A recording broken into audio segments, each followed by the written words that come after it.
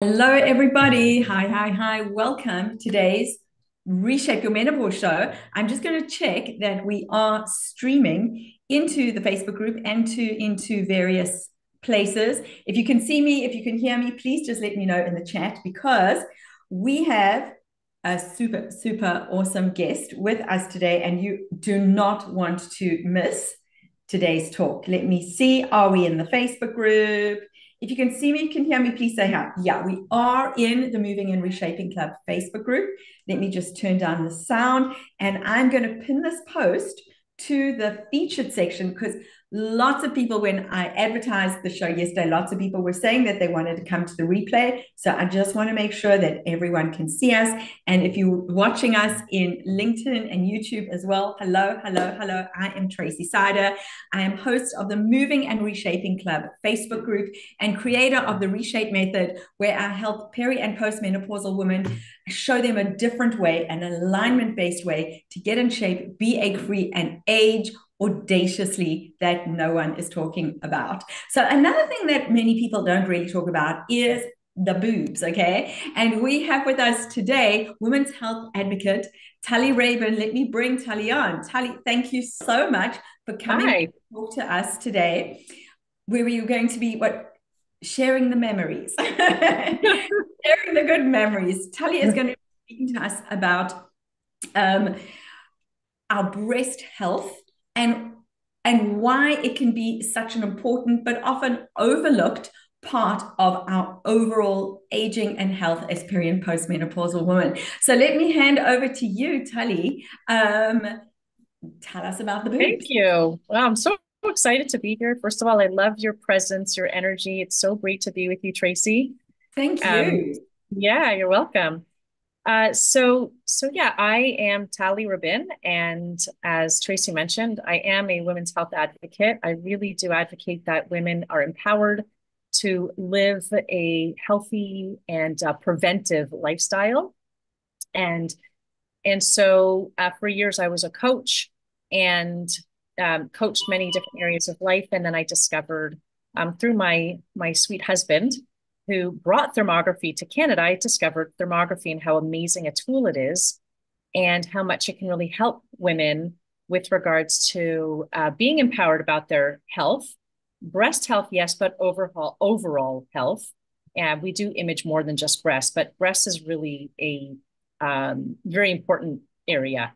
And so I've been working in this field now for about seven years, uh, doing thermography, and I I love what I do. It's not often you can say that you mm-hmm. love what you do. I really yeah. love. So tell us, what is thermography? Okay, so thermography is a non-invasive, radiation-free thermal medical imaging technology. And so what it's doing is much like everybody's aware of the point and uh, measure um, thermometers that have been used during COVID and, and so on. That technology is th- is using thermal thermal energy, thermal thermography. So it's capturing the heat coming off the surface of your skin, which tells us how your body's functioning beneath the skin. And why that information is really important is because um, it's different information than anatomical information. So, like an x ray or mammogram or ultrasound, those have their place, but they're anatomical I'll talk a little bit more about that in a moment. Um, but what they don't show you is how your body is functioning on a physiological level. And that's what thermography is providing how your body's functioning, uh, things like lymphatic flow, vascular activity. It's the best tool to detect any inflammation in the body because it's measuring the heat. We see temperature patterns. Uh, we can see flows of, you know, let's say lymphatic drainage, etc. So it's a amazing technology. Um, I'll talk about the breasts, okay, because that's what everybody wants to, that's what we're here for, the boobs. Um, a lot of women, of course, um, know about mammograms, and I'll talk a little bit about thermography in comparison to mammogram, just because mammogram is what's really known. Um, so mammography is really it's a good tool to use when someone knows that they already have something growing in their breast. Um, why? Because a mammogram will only detect a lesion after it's been there for at least five, sometimes even eight to 10 years. That's what a lot of people don't realize. So, so the person could be going for a mammogram sometimes on an annual basis and being told that there's nothing there, but actually there could be something there. Um, so the question is then, well, why, what, what about that zero to five or eight, 10 year mark? What about that? And, and so that's where thermography comes in. Because if someone's body is starting to change, if something is starting to grow, it happens on a cellular level, at a very minute level first. But a lot of blood is going to go to that area, and that produces heat. And that's a physiological change before an anatomical or structural change. In other words, before something like a mass starts to develop. Mm-hmm. So that change that's happening on a cellular level is what you want to get at as early as possible. And that's really preventive because it doesn't mean that someone, God forbid, has cancer already. It could be something else.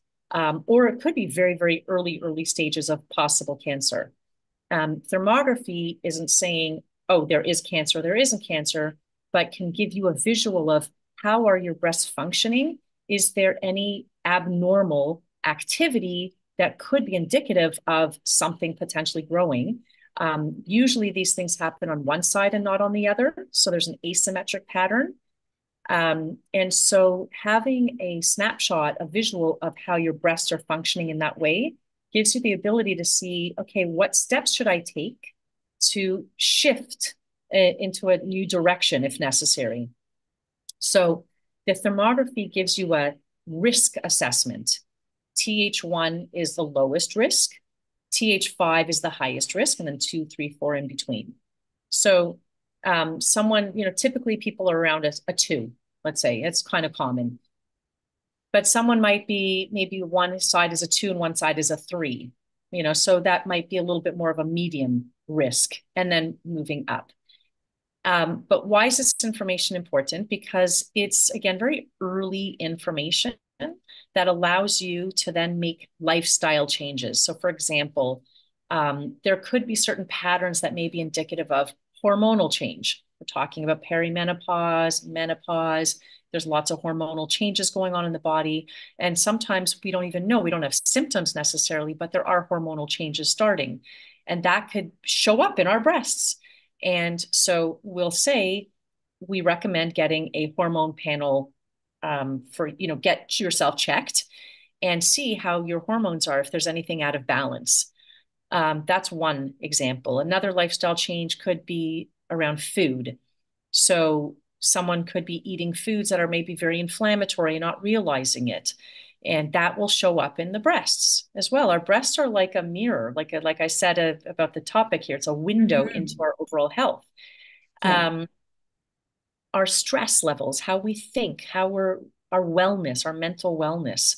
It does affect our physical wellness, and that can affect the breast as well. So I kind of like to look at it as um, if you guys kind of go from you know from your head down, you know how you think, um, your your dental. I'll get into that in a moment. Um, your what you put into your body, and also what you wear. So these are sort of the main kind of things to look at when you're talking about how can I just maintain my breast health? Well, if you can kind of focus on those four things, and maybe not all at once, maybe start with one and then work another one in. Um, but starting with, you know, how is my mental wellness? Am I am I in a lot of negativity? Am I thinking negative? Am I constantly surrounded by negative? Or do I have a lot of conflicts that are not resolved in my life or resentments from the past that I haven't resolved? I mean, these are pretty big things to talk about. We could have a whole show just on that. Um, mm-hmm. um, but it's important and and we don't realize how much that can affect our, you know, chemical, physical, uh, and physiological well-being. Right. And is that one of the um, hidden causes of breast disease that you were mentioning in the promo? that's one of them. And and why is like like what do you mean if I think of this then it's a, it's not like an overnight sensation. But there are there's a whole studies done on different personality types. And um, and so certain uh, personality types that are more kind of laid back, if you will, versus um, more kind of stressed in particular and you know re- holding on to resentments or things like that um, And these on an ongoing basis for years and years, yeah, this is actually going to affect our physical body. Because and of the inflammation it causes? It can, absolutely. Mm-hmm. Um, another one, and this is this is one of the major hidden causes that a lot of people don't know about. Maybe some of your listeners who are more educated know about this, but it's dental. Dental pathology is connected to both heart and breast health. The lymphatics they start here. They come down through the neck and they come and wrap around the breast and then continue down. Lymphatic flow goes both up and down. So if there are issues in the mouth that go through and down to the breast or up as well. So what that means is that if there are issues someone for example could have breast issues someone who might have had breast cancer we've had cases of women who have had breast cancer they get it treated, they're fine, and then it comes back. Well, because what they didn't do is check their dental, and that might be causing recurrences. Okay, so mm-hmm. why? How? Well, it could be um, procedures that are done. It's becoming more and more widely known that root canals are a procedure that are just generally not good and i'm sorry you know if there's a dentist on the the line here watching and people have different opinions um, but there's a lot of research on the negative impact of root canals. Why? What's happening? A root canal is usually when there's an infection in the tooth and the person wants to keep their tooth. They don't want to pull the tooth. And this comes from the from the olden days actually. You know if you had a tooth pulled you looked like you were some kind of you know in poverty or something. And so people wanted to keep their teeth. But it's actually interesting in the history that people who um, had more teeth pulled actually had less incidence of cancer or other major disease than people who kept their teeth but did things in order to keep them. So what happens with a root canal is if this is your tooth the the center is cored out and everything is sucked out from there. So any infection is sucked out there. But it's also taking out the life force the connection to the the roots that come out at the bottom. And that gets connected to other life force in us. It's like the meridians. If you look at chinese medicine you look at meridians like uh, like chiropractic even you can see that every tooth is connected to different organs in the body. So when so first of all when that is all cored out there's no connection and then it's stuffed. So there's two things happening. One is you're losing that life connection the life force coming in and out and number two is this part of the tooth that you think is still your tooth is actually dead matter. And so now you have dead matter in our mouth and that's going to ooze out toxins. So between these, these two reasons, the cutting off of the life force from that root to the rest of your organs and the dead matter sitting in our mouth, whether it's one root canal or some people have multiple, it can cause a lot of residual damage, including major heart issues as well as breast issues. So that is one thing that we often um, educate people who come to our clinic or who are learning about thermography that we also image what we call cranial dental thyroid. Thyroid's another another piece, but it's connected. But to have that imaged because it's all connected. And uh, I can't tell you how many cases we have where you can see where someone has something going on in this side of their mouth, and then you see the lymphatic connection right down to the breast with some kind of something activity, blood activity going on on that same side. Mm-hmm. So, you know, what what can one do about it? Well, they can check their teeth. So we let people know, go get this checked. Um, if it's a root canal that's existing, it can be removed. Um, what does that mean? Well, yeah, the tooth actually gets removed. Do you want to replace it? There's different ways to replace the tooth that are kind of uh, less invasive to more invasive, if you will. Getting an implant can be pretty invasive, but some implants are better than others. Sometimes um, the best choice is to leave it completely out, but maybe have what's called a partial. So it's like a bite plate that has a tooth in that spot um, that can be removed and cleaned and so on. So people have to gauge what they're comfortable with and see what's going to um, keep reducing their risk for added problems. So that was one of the key issues I wanted to tell people about that that is a hidden connection um, that people should know about. Um, from a prevention perspective, you know, obviously keep your teeth clean, keep your teeth health clean. Even what you eat affects your teeth. Um, this is the biggest orifice in our body, and we're constantly putting stuff in, and it's going into our whole body. So we should really pay attention to what we're putting in and how we maintain the mm-hmm. health of that area. So, what specific advice would you have for people in terms of that? What to avoid, what to add?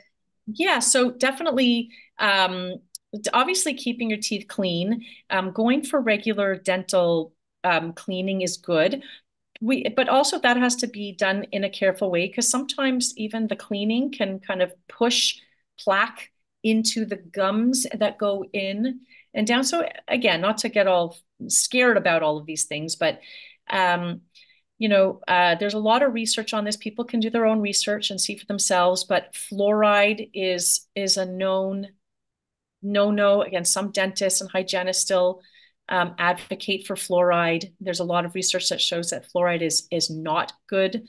Um, it's actually more toxic than good. Um, again so that goes into the bloodstream into lymphatics etc so if you can avoid that i use fluoride flea free not flea fluoride free toothpaste on a regular basis. Um, uh, and then of course you know if, if you can get thermography done to have it checked and be on top of it, right? So, for example, when I did my dental thermography the first time, there was a hot spot around my upper left molar area. We can't say exactly which tooth it is, but we can say it's in this area. I brought my thermal images to my then holistic dentist, who's unfortunately passed away since, but there are others that are still great. And when he looked at the image and he checked my mouth, he saw in a particular in between two teeth minor gingivitis starting. That showed up as heat on the on the thermal image. And he was able to clean it and put something inside, kind of like almost like a bit of a filling to stop food from getting caught there as easily. So that just gives you an example of something minor. Another woman, for example, uh, who decided to do the cranial dental thyroid exam, she called me back afterwards, said, I'm so glad you told me about this. I went to my dentist, showed him this image. She says, I was just there a month ago. And when I showed him these images and he looked further in this particular area, he found that the crown on my tooth was so hairline fracture cracked, he couldn't see it when he checked it the last time. But now he checked, so he removed it, cleaned it, and, and put a new crown. So it's even minor things like that will show up like a minor dental infection that have no symptoms. We very commonly see that when people do their thermal, thermal imaging. So from a, a tip for being preventive, mm-hmm. obviously this is what I do for a living. So I, I'm, I'm very passionate about this. Um, getting thermal imaging to check and be preventive and proactive is a good way to take care of your, of your teeth.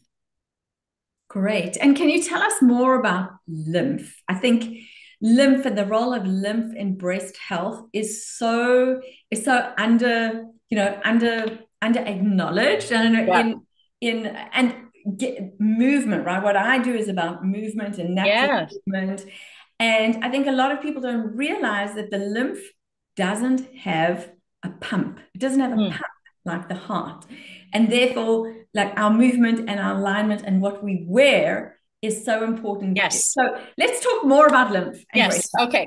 Okay, good. So um, actually, I'm going to put that, I was saying that we start from our kind of our head and move our way down. We talked about how we think, talked about our teeth, um, talked a little bit about food. We can talk about that a little bit more, but then we want to talk about what do we put on our body, right? And mm-hmm. so with regards to the lymph, um, underwire bras, not a good idea. Two reasons. One is if they have a metal, uh, for a wire. A lot of them have plastic now, so that is better. But the metal near the body, not a good idea. So you don't want metals with all the radiation and things that we have around us, like our phones or computers, etc. We don't want to be attracting this kind of radiation towards our body. That's number one. Number two is the pressure that that underwire places on the breast, on the lymphatics, is significant. Um, you know, I went to a bra store that does you know, custom bras, etc. And I said, I want a wireless. Oh, well, no, you know, they're really not that bad for you. She was trying to convince me. And, you know, thankfully I, I knew better at the time, but, you know, people who are in a certain business, of course, that's what they, that what they do. But it really is, it does apply pressure. And especially if you're wearing it all day, right? From morning till night. So it takes a toll.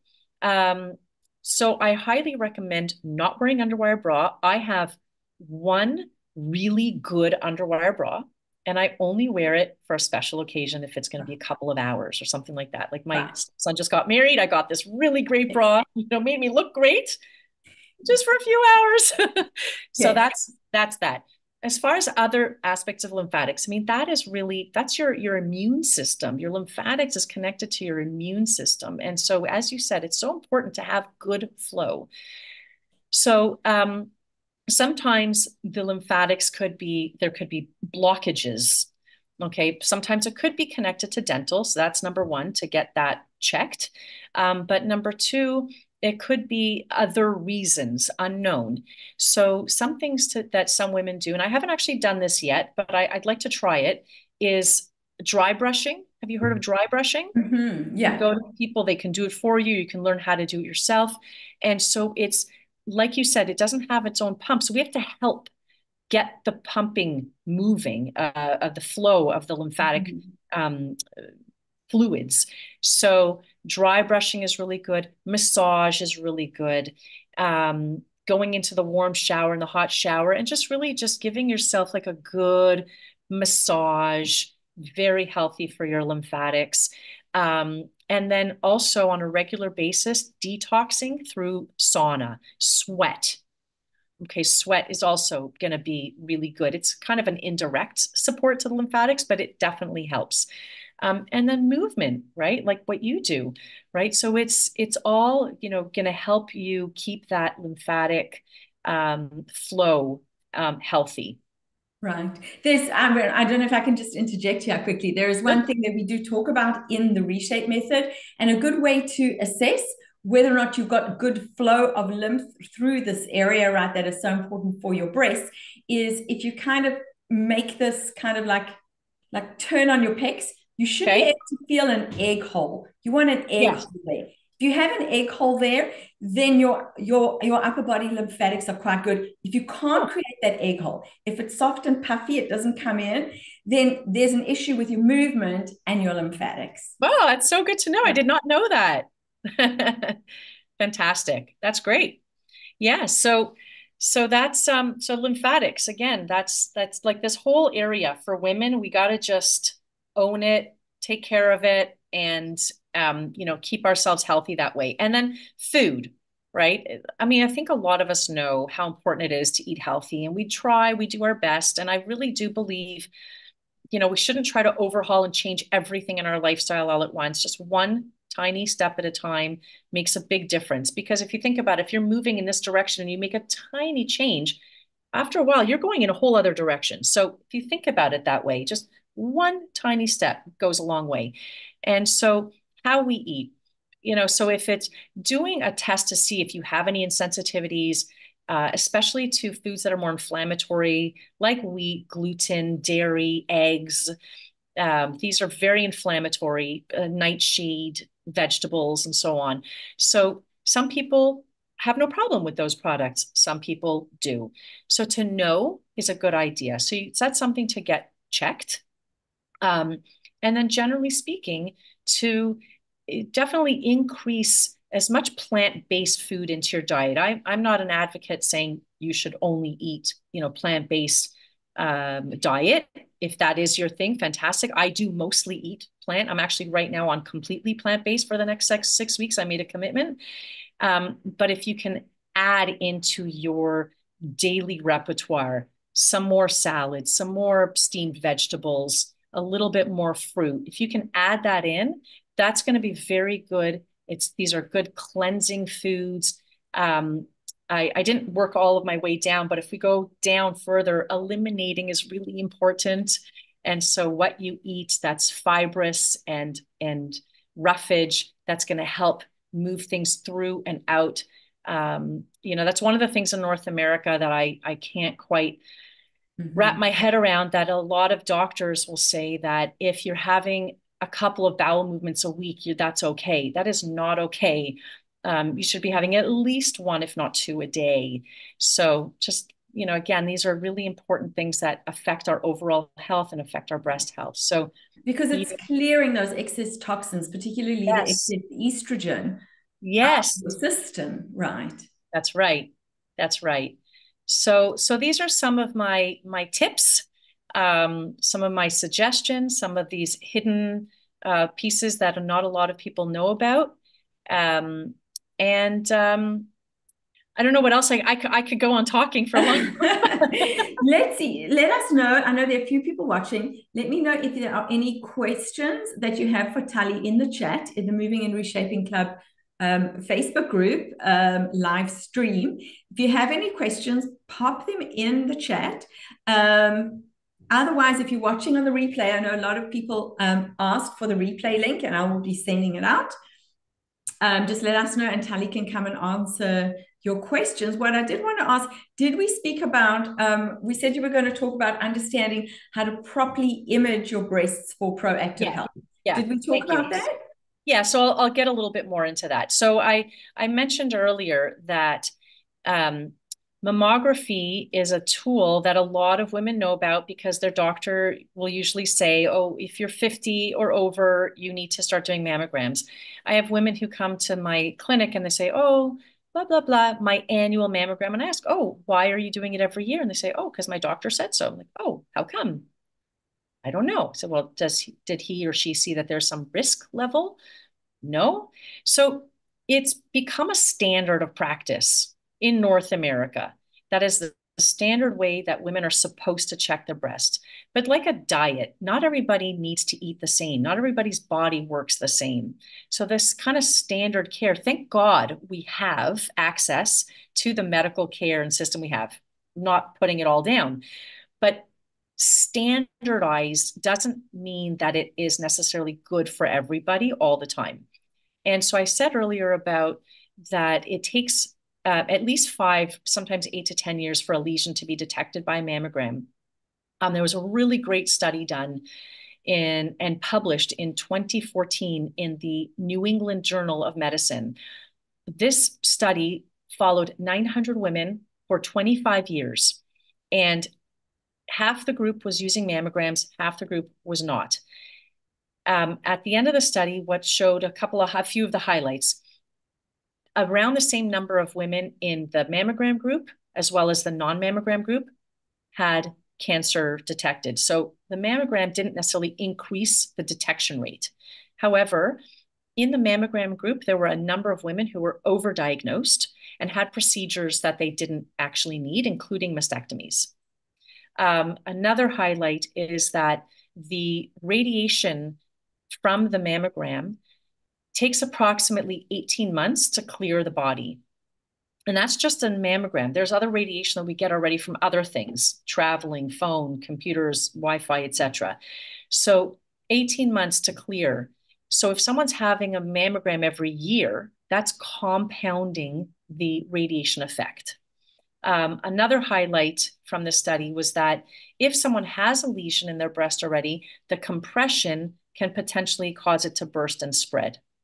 Um, and and so, based on these outcomes of the study, they deemed that mammograms can, doesn't mean that they do, but they can contribute to the onset of cancer.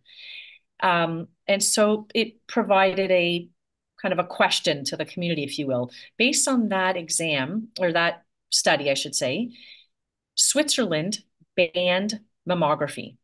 So, there is no longer mammography in Switzerland. A number of other European countries have shifted the way they use mammography more to the way, like what I was saying, that it should be used more if it's necessary to escalate and only if it's necessary. Um, and so that's how a lot of countries in Europe now screen uh, women's breasts. They don't use mammography as the main way, they use thermography and ultrasound. And that's what we say is a good combination. Why? Because thermography is a physiological test. And I think I mentioned earlier that physiology will always precede anatomy. In other words, there will be a physiological change, a cellular level change before a structural mass starts to grow. And so, so you want to get in as early as possible and in as non-invasive and healthy a way as possible. And that's thermography is one of them.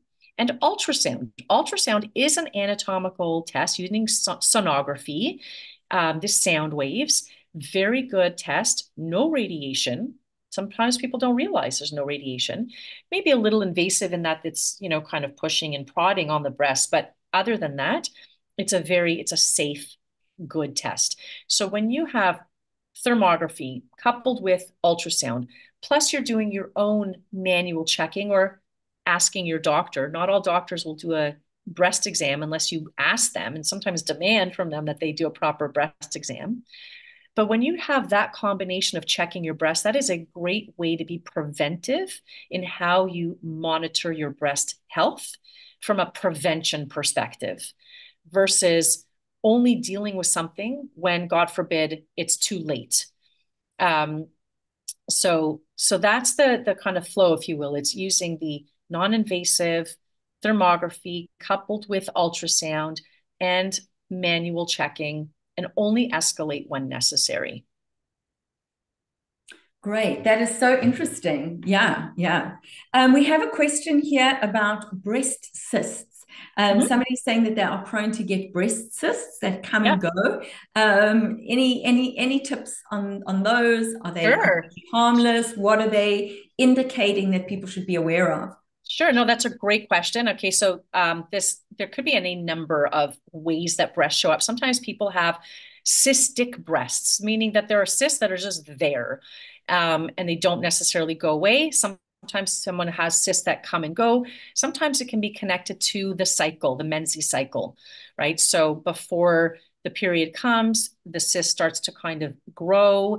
And then as the period is ending or in the middle of the flow to the end, it'll dissipate. There could be different reasons and times for those cysts.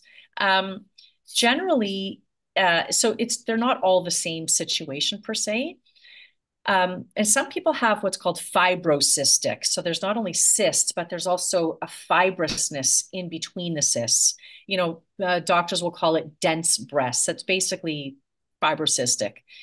Um, one of the um, foods, if you will, that we lack in our diet is iodine. Um, so there's a there's a connection, a potential connection. I don't want to be diagnosing or prescribing or anything here, God forbid. And you're going to now start taking iodine, and you should do this in a proper way. Um, but iodine is often missing, and and when women add iodine into their practice, it could be a drop of iodine, Lugol's, L U G O L apostrophe S, Lugol's, like 3% or 5% iodine. Uh, it's a very good brand, it's a good mixture. A drop into a little bit of water and drink it. Um, even putting a drop onto the breast and making like a little painted circle about the size of a loonie, a coin. Um, it, it, this is it'll allow it to go into the skin and into the breast. You can do it on one side, do it on both sides this is actually a good way to test how your iodine is because if you put iodine on your skin and it gets soaked up really quickly, it means that your body's really thirsty for iodine. If that stays for, you know, three, four days, meaning like the orangey spot that it leaves on the skin, then you have a, a, a decent level of iodine. So some women will be it'll be recommended to them to do this put it on your breast and um, you know and keep doing it until you get to a point where that little painted circle is on for a few days and then you know you're at a, a kind of good level um, i know for myself i have a cyst in my left inner breast that comes and goes it's kind of there all the time but sometimes it gets a little bigger sometimes it gets a little mm-hmm. smaller so i i have paid attention and I know that when I'm not eating very like well according to the way I know to eat, that cyst will get irritated. It'll actually get bigger and it'll get a little bit more painful. Um, wine. Very estrogenic and inflammatory. Um, unless unless you get you know organic wines, like certain there's certain wines that are a little bit less estrogenic, um, but alcohol in general is not great for our breasts. Unfortunately, women who like to have a little this and that. But again, I say just you know reduce it. But I actually tested, and I I found that my that particular cyst got really painful at a certain point and when i thought about it i realized i just came from vacation where we were drinking wine every day. And then you know sometimes you come back from vacation it's hard to stop being on vacation. So you know mm-hmm. a little more wine than usual for a little while longer. And I said, oh i stopped drinking wine and about a week later that thing went down and was not painful anymore. So it's there's a really direct connection. Uh, sugar is another one. Okay, so these are Sad but true. I know, I know. I like my dark chocolate, you know, but I have to do it and in you know pace myself. Um, so, but sugar is another one. Um, so so there's iodine um, as a therapy, and then there's just really monitoring what you eat. Coffee, coffee is another one, ladies. I'm sorry, I actually quit coffee. This May is going to be 11 years. I liked I love coffee. I love the smell. I'm mm-hmm. like, you know, like I, my nose follows it. I, mm. but it doesn't work for my body for different reasons, not just my breasts, also for my joints. I had a major hip pain for years. Um, and through my own discovery, it was kind of accidental, but nothing's really accidental. I discovered it was coffee. The caffeine in the coffee leaches the calcium from the joints. And I personally might be more prone to kind of arthritic nature. Both my parents have forms of arthritis. So for me, coffee doesn't work that way uh, for me. But also for our breasts, it's very acidic coffee, not good for the breast health as well. So those are some things to think about with regards to cysts or fibrocystic. I hope that helps. Amazing. Thank you. Thank you. And we have a question here in the chat. How do I respectively, respectfully tell my doctor I don't want a mammogram without getting into an issue with them? I always feel pressured. I love that question. So you're not alone, whoever just asked that. So um, it's um, so first of all, you want to acknowledge and be thankful for your doctor. Okay. If you want to keep that relationship with your doctor, if you're not looking to change doctors, um, then you want to really, as you said, respect. So you can say, exactly, listen, I I want you to know I've been with you for this many years and I haven't left on purpose. So I, I really like our relationship and I'm happy. And I am um, just have I have concerns about the negative impact of mammograms. Um, I've done research, or you should do the research if you haven't. Um, but I am not comfortable using this as a method of monitoring my breast health. Um, I've heard about thermography. I've heard about ultrasound being non-invasive or non-radiation and thermography being non-invasive and safe. And I'd like to use these other methods. Can we work together? You know, I, you know, I, I, I want to appreciate what you contribute to me as my doctor. I also want you to please listen to me as your patient. This is what I'm asking if we can work together and have a, a kind of a happy medium. Sometimes um, a doctor will just say, okay, fine, go do that thermography thing, or, you know, um, and sometimes sometimes they'll say nasty things about it when they really don't know anything about it, or sometimes they just don't know and they say, you know what, I don't know. If you want to do it, go ahead.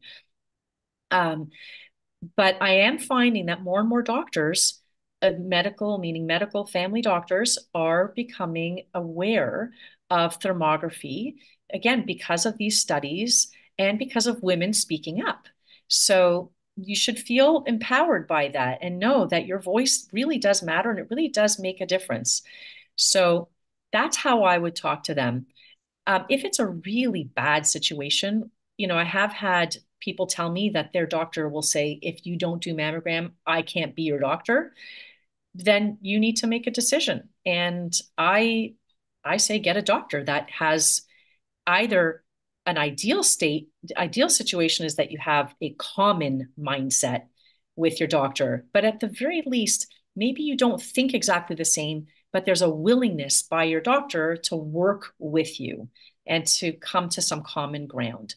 Um, but sometimes people do have to leave their doctor and go find someone that they can work with. Thank you. Thank you so much for that. And thank you so much for coming to talk to us about this really, really important topic. Maybe you can just let everyone know, like, how widely available is um, thermography in North America, where, where most of our viewers are watching? And you also mentioned about it was Switzerland, right? Not doing yeah. mammograms anymore. Have right. they have they switched to thermography? So, through, from what I understand, thermography and ultrasound. Um, right. MRI is another. I mean, that is that's just another modality that some people are are using as well. Um, and that's pretty much it, though. Yeah, thermography and ultrasound. Um, in terms of how readily available it is, I can tell you, um, Thermography Clinic. If you go to thermographyclinic.com, that's our website. Um, if you go near the top right, there's a link that says locations, and there's a drop down menu, and you can see different locations that that are around Canada and locations around the United States. Um, and so that's that's one place where you can look. Um, these are clinics that have been trained by us. We have a, a standard. Um, Dr. Mostovoy, Alexander Mostovoy, he's the one who pioneered this technology in Canada uh, about 25 years ago. He's a board certified clinical thermologist. So he's trained to train others um, and has been doing so for years. So people who are in that network that are listed on our website have been trained and are following the proper methods of um, performing thermography exams. Um, and all the exams that they receive to give the, the reports come from our uh, from our central locations that they're getting them from us. Um, that's I can speak to in terms of knowing that you know we keep a certain standard. It's it's using cold water challenge. I didn't get into this, but part of the process when being imaged is um, the hands go into cold water, 10 degrees for 60 seconds. And this is a very important part of the test to look at how the breasts are functioning in a static state and then a dynamic or functional state. By putting the hands in the cold water, it causes vasoconstriction um, and creates a shock, so to speak. And we want to see how the vascular activity responds to that. Um, so it's really important that that's part of the breast exam and not a lot of, not all places do that. So it's important to know what method do they use and who is analyzing the results and providing the report.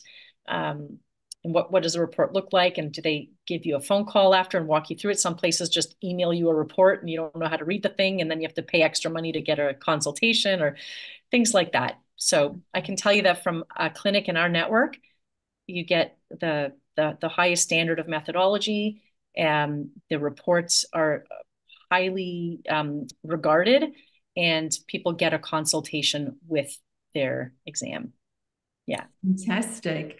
Well, thank you so, so much for coming to share all this information with us today. Really, really enlightening. And I love how there's actually so much overlap with with the reshape method. We also, there's a whole um, module in the reshape method called Dress for Success. And Ooh. a big part of that is about getting proper you know proper bras or not as mm. as the hmm. case may be i mean i haven't worn a bra for years and years and years it's also about getting the proper strength in your ligaments and your muscles that you're not really relying on that bra so much for support. Yes. There is a certain amount of movement that is required in in the breast tissue. Like the breasts on weren't designed to just stay, you know, locked yes. and loaded the whole time, right? true. Yeah. So, yeah. so that is also something that we go into in in the reshape method. So I love that there is overlap, and I'm thinking I need to be doing um, a breast movement workshop for everyone. I think that will be coming up soon. Amazing.